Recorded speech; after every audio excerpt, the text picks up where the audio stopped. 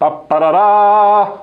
John Rowe, Control Superhero, here on AC Controls TV. Going to talk to you about what I feel is the best kept secret in the control and automation industry, and that's Honeywell's HC900. The HC900 is basically a, a hybrid, thus the name HC.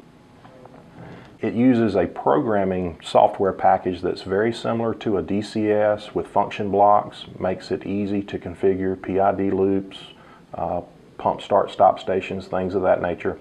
But it's tied into more of a PLC type platform with its small modular construction. And so basically it's a marriage between those two, giving you the ability to right out of the box get a system up and running, uh, low cost, scalable, and uh, we're going to talk to you a little bit about the programming of that product today. A lot of people are intimidated by function blocks because they haven't used them a lot. And I'm going to walk you step by step through setting up a PID loop and then uploading that into the Control Station 900, which again has a rich product suite that allows us to take that configuration, back build it into the HMI so that there's very little configuration that I've got to do right out of the box. So hopefully uh, you'll get to see a little bit of that and how it's done and, and uh, we'll go from there. First of all, I want to start by opening my Hybrid Control Designer software package. I'm going to select New Configuration, come down to Controller Type. I'm going to select the C50 controller, which is what I've got in this unit, and I'm going to select the latest revision, 4.4 firmware. Now I've got an open environment that I can do my programming in. And so I'm going to come over here select analog input from the library, and I'm going to drag it to the screen. If I double click that block, basically the parameters that I can configure for that block come up. I've got this thing set up for 4 to 20 milliamp input, so I'm going to select linear, go to 4 to 20, select that. And then I'm going to tell it which rack, which is rack 1. I'm going to tell it which module, which is module 1, the first slot available. And then the channel, which is the first channel. Now, a note of caution here is a lot of PLCs start with zero as the first slot and zero as the first channel. In the Honeywell world, everything starts with one and goes forward. So we're going to select that. Then my range, zero to 100%. Another big thing separating us from the PLC guys is I don't have to keep up with all these A to D conversions. I use the engineering units that we use in the field. So 0 to 100% is 0 to 100%. If I was dealing with flow, 0 to 3,000 gallons, I just put it in here and I don't have to do any of the math for the A to D conversion. All right, I'm going to give this thing, since we're going to do a live demo with it, about 15 seconds of filter time. I've got the output tied to the input, and we'll show you how that works. Okay, so the input block is done.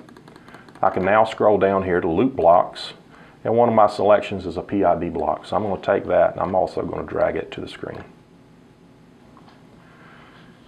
And to complete the loop, I'll need an output block.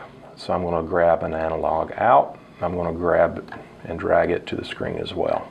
Now to tie all of these together, there's a thing called soft wiring where I take an output pin, which you see here, and I'm going to drag it to the input pin on the PID block. I'm going to do the same with the output pin of the PID. I'm going to tie that to the input pin of the analog output block. If I double click the output block, I can configure its parameters as well. Rack 1 Module 2, because the analog output resides in the second slot, and I'm going to select channel 1. So that input is now pre-wired. The output is tied to the input. And I'm going to OK that. Once I'm done with that, if I double click the PID block, I need to give it a tag name, and I'm going to call it tank pressure. We want to tag everything we can. The algorithm set up for a PIDA, which is what I want, and reverse acting. My start restart tab allows me to go in and select how that block comes up from both an initial mode when I initialize it or from a power up mode if it loses power. So I want it in both situations to come up in automatic. Nothing else there I need to configure. My remote set point tab basically allows me to select how the remote set point is handled, whether I use a percent input or engineering units, and we're not going to deal with that today. We'll hold that for another session. the range and limits. So I want to range my PID block the same as my input. So I'm going to set it up 0 to 100% as well.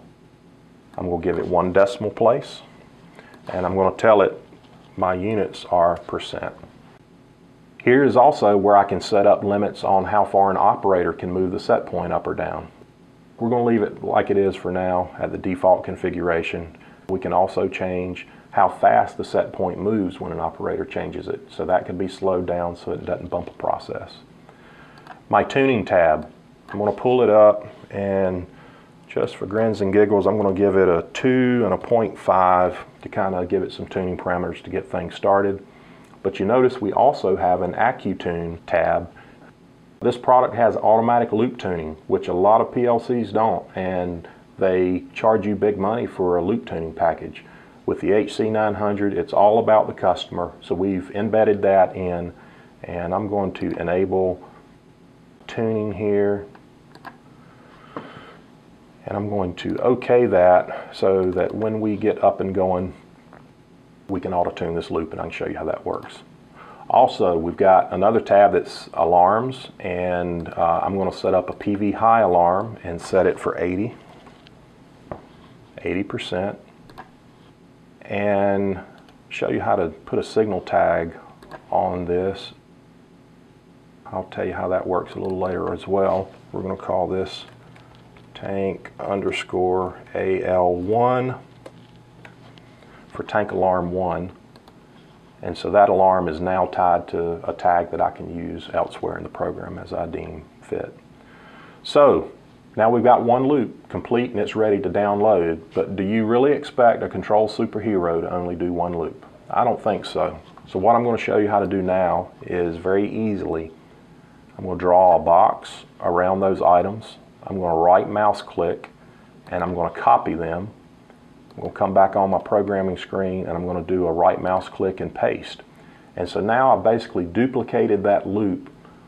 Very easily I can go in and change the rack to rack 1, module 1, channel 2, double click the output block, rack 1, module 2, channel 2.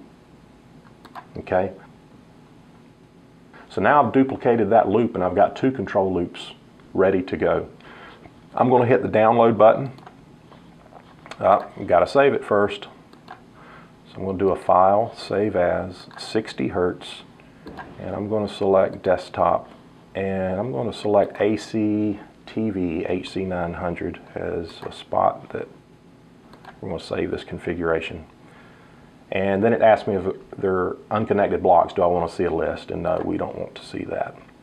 So that unit has been saved, it's ready to download. I click the download button, I tell it to start, and in just a few seconds, bam, it's gone. And now it asks me whether I want to do a cold start or a hot start. The difference between those is a cold start reinitializes the controller. It'll take all the outputs down and reflash the memory so that everything comes up from basically zero. But if I select hot start, what it does is freezes the outputs and the inputs for a period of time until it can get that program loaded into the next scan. It'll freeze everything for about two seconds. But if I select that, now basically my control system could stay up and running while that's done. And so in a lot of cases, that's a nice feature where you want to download that controller, but you don't want it to interrupt your process. So that's basically the configuration for the HC. And uh, just a word, guys, this thing is not intimidating. It's easy to do.